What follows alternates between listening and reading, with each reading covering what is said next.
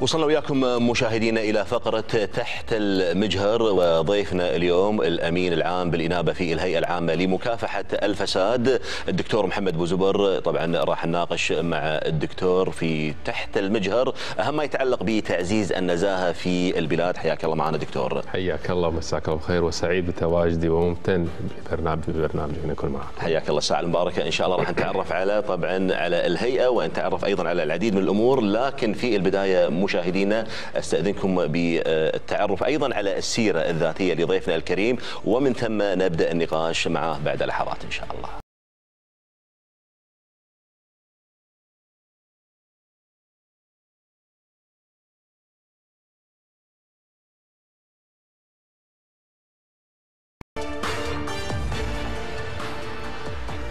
عودة لكم مشاهدينا مرة أخرى. دكتور محمد عندنا العديد من الأمور والعديد من المحاور والنقاط اللي ودنا نمر عليها ويعني بشكل إن شاء الله يعني موجز وبشيء من التفصيل لأهميتها. في البداية ودنا أن نتعرف على دور الهيئة في ممارسة العمل على تجريم الرشوة في القطاع الخاص أو حتى الحكومي وأيضا موضوع حظر تعارض المصالح في القطاع العام.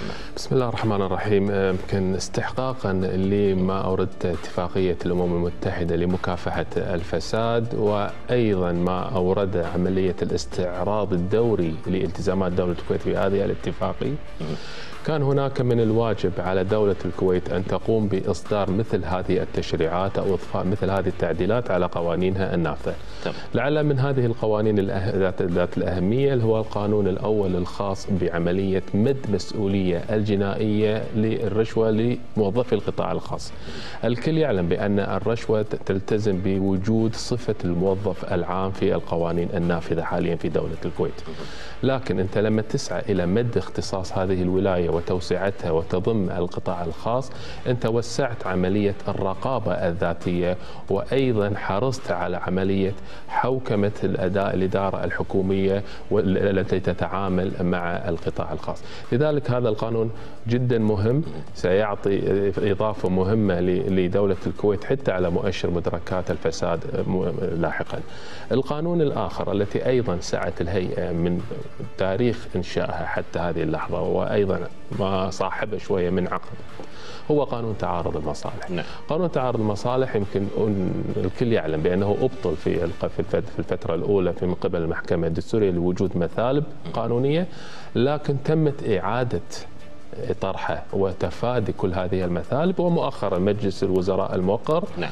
تم إقراره بلجنته لجنة والشؤون القانونية وتم رفعه إلى سمو الأمير اللي طرحه على مجلس أمة. هذا القانون جدا مهم الذي سوف يكفل عملية عملية التوافق بين العمل الحكومي وبين نعم. الإدارة الحكومية. تمام. أه ننتقل إلى الموضوع المتعلق بالذمة المالية ومدى حرص الهيئة على متابعة هذا الموضوع فيما يتعلق مع القياديين اللي أفصحوا واللي يبي يفصحون إن شاء الله. ما في شك بأن الذمة المالية هو من الأنظمة المستحدثة وتم استحداثها على مستوى دولة الكويت سواء على المستوى القانوني أو على مستوى الثقافة بحيث أن هناك جهة تستطلع كل ما لديك من موارد مالية وغير مالية ويكون تحت رقابتها ومتابعتها، وهذا ما يعرف بنظام إقرار الذمة المالية. لذلك حرص قانون هيئة مكافحة الفساد على إدراج خاضعين لهذه لهذا النظام ويصل عددهم في دولة الكويت حوالي 14 ألف وظيفة تبتدأ من صفة رئيس مجلس الوزراء ورئيس مجلس الأمة والأعضاء وغيرهم وتنتهي إلى صفة المدراء على هد على هؤلاء الأشخاص تقديم إقرار الذمة المالية بما لديهم من ممتلكات وعقارات وغير بذلك بهدف تحصين الوظيفة العامة. وبهدف أيضا أن يكون هناك في رقابة ذاتية ويستلزم على الجهات الحكومية أن تبادر وتتعاون مع هيئة مكافحه الفساد في تحديث مثل هذه البيانات، الكل يعلم بأن هناك في خروج في حالات للتقاعد. نعم. فالقانون اللائحة التنفيذية نصت صراحة على أن يكون هناك في متابعة حثيثة من الجهات الحكومية في عملية تحديث مثل هذه البيانات وأيضا المدد القانونية المقررة في هذا القانون. تمام دكتور ذكرت من رئيس مجلس الوزراء إلى المدراء طيب ماذا عن المراقبين ورؤساء الأقسام؟ يشملهم هذا الموضوع ولا لا ما حتى يشملهم؟ هذه اللحظة حتى هذه اللحظة إقراء تق- أنا أتكلم عن تقديم إقرار الذمة المالية. فتقديم إقرار الذ- الذمة المالية يشمل فقط فئة المدير وأنت صاعد إلى درجة. بنظرة المشرع في هذه في هذا التوقيت يرى من هم أصحاب القرار من هم المؤثرين من هم الذي يؤدون عم- يؤدون بأعمالهم إلى مو احتمالية ارتكاب جريمة فساد. لكن ال- القانون متاح ممكن يمكن يكون هناك في تعديل بالمستقبل. يرى يمكن إضفاء كم أعداد أخرى من ذلك النوع لكن تركيز المشرع يركز حاليا على الفئات ذات الصفات العالية أو ما تسمى بعالم المال والأعمال أيضا. فئات عاليه المخاطر تمام تمام أيضا يعني آه، نزولا حتى عند رغبتك في تطويع البرنامج للحديث عن دور نزاهة وتأثير هذه الهيئة على الاقتصاد بشكل عام ودنا نتكلم عن الشروط الأولية الواجب توافرها لرصد جرائم ما يسمى بالفساد المالي نعم يعني آه، قانون هيئة مكافحة قانون خاص ووضع بصفة خاصة حتى يغطي فئة من الجرائم الخاصة فيما يعرف بالفساد المالي. نعم. هذا الفساد المالي هو الذي نظم بموجب بموجب جرائم محددة سلفا في المادة 22 أذكرها على سبيل الحصر لها- مثال الحصر اللي هي جرائم الرشوة وغسل الأموال والتزوير والتربح وغير ذلك من هذه الأمور. هذه الجرائم لما جاءت أيضا أضاف عليها هي ما هي جرائم مستحدثة نعم. يعني هي جرائم اوريدي تم النص عليها مسبقا في قانون الجزاء من الستينيات لكن رغبة من المشرع لاضفاء صفة جديدة على هذه الجرائم باعتبارها جرائم فساد وجرائم فساد لها ميزة خاصة بأنك أنت لما تبلغ عن هذه الجريمة سوف تتمتع بميزة حماية المبلغ نعم. واضفاء السرية عليك وهذه الميزة التي تتمتع بهيئة مكافحة الفساد عن بقية الجهات الرقابية فهذه هذه هذا الاختصاص ال- القائم هو الاختصاص ال- ال- ال- لهيئة مكافحة الفساد في في هذا. تمام آه، في هذا الجانب يعني ودنا أن نتطرق أيضا دكتور محمد إلى ما يثار وما يتم تناوله وتداوله في مختلف وسائل التواصل الاجتماعي والتطرق لبعض ال- ال- الأمور اللي أكثرها قد يكون غير دقيق وغير صحيح. آه، إلى أي مدى يعني هذه القنوات آه، رافد أو آه، طريقة ترصدون من خلالها جرائم الفساد؟ ما في شك بأن إحنا نرصد ونتابع كل ما يثار في وسائل الإعلام والمسموعه المقروءة وسائل التواصل الاجتماعي على اعتبار الميزة التي منحها لنا القانون من خلال المادة 24 هذه المادة تسمح لي بتتبع هذه الأخبار. لكن أيضا الهيئة حريصة أن تكون هذه الأخبار من مصادر مسؤولة. مصادر تكون لها قيمة مضافة وليست وليست وسائل غير مسؤولة. حتى تتأكد وتتحقق من جدية هذه آه، آه، المعلومة. لذلك الهيئة بجانب تقدم المبلغين بصفتهم الشخصية إلى الهيئة وتقديم البيانات والمعلومات وتمتعهم بالحماية والسرية أيضا تبادر من تلقاء نفسها.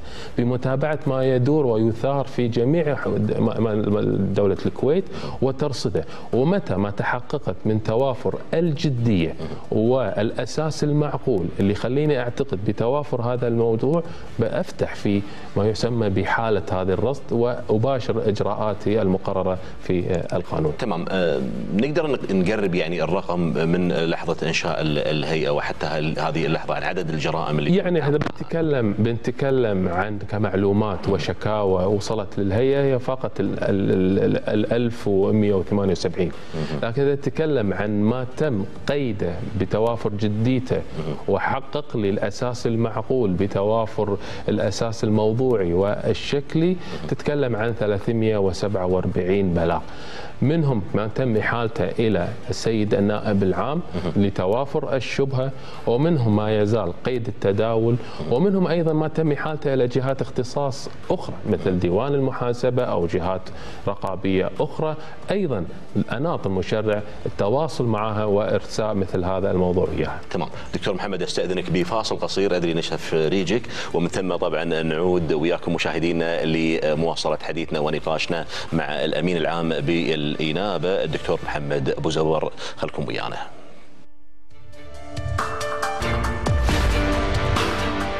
أعود لكم مشاهدينا مرة أخرى وضيفنا الدكتور محمد أبو زبر الأمين العام بالإنابة في الهيئة العامة لمكافحة الفساد نزاهة دكتور حياك الله معنا مرة ثانية.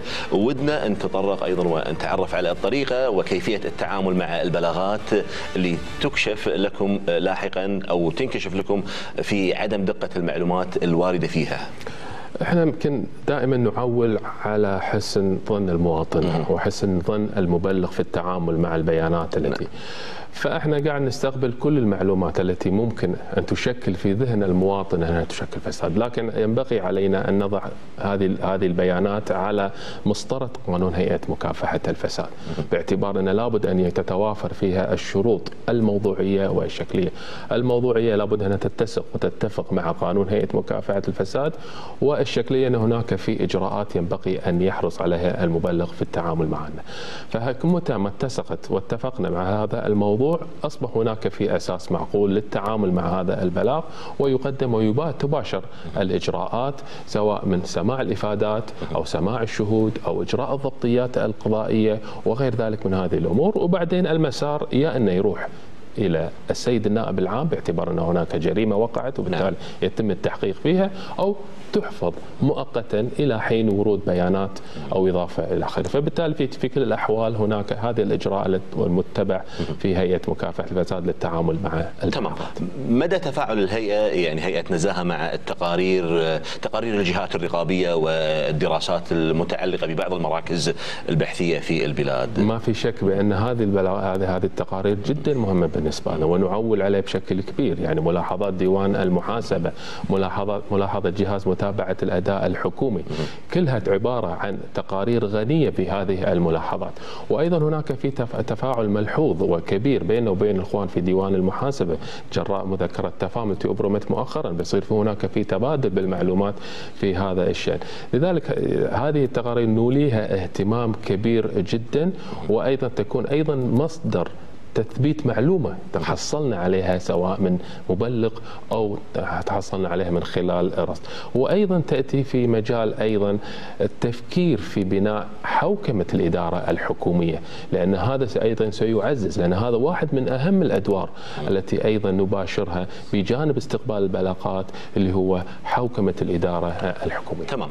موضوع سرية المعلومات دكتور ممكن أنه يعني يعني يعيق الهيئة ويؤدي فيها إلى عدم قدرتها على التعامل بدقة وبشفافية مع بعض المواضيع. بالعكس يعني هي يعني بالعكس السرية هي الميزة المفضلة أو الميزة التي نتمتع بها عن الجهات الرقابية الأخرى.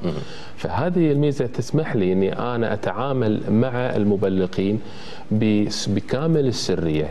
ومتى استدعى الأمر إني أنا أوفر له الحماية سأقوم أيضا بتوفير الحماية، فهذه الميزة التي تمكنني من الوصول إلى اعقد و جريمه اللي هي جريمة الفساد. لأن دائما جريمة معقدة ومركبة وتحتاج إنك أنت من الداخل يطلق لك أحد الأشخاص حسب المصطلح المتعارف عليه دوليا ويست بلوينج يطلق لك الصافرة من الداخل، لكن إطلاق هذه الصافرة تحتاج إنك أنت تتعامل معها بسرية وأنت تقوم مقام المبلغ في الجهات يعني إحنا كهيئة مكافحة الفساد نقوم مقام المبلغ أمام الجهات الرقابية والتعامل. بشكل تقريبي دكتور عادة إيش كثر تاخذ من وقت الهيئة التعامل مع مع الجرائم بشكل عام؟ يعتمد على على على يعتمد على الجريمة, الجريمة ويعتمد على الشبهة والبيانات المستقاة من الجهات التي نتواصل معها، لكن هناك في حدود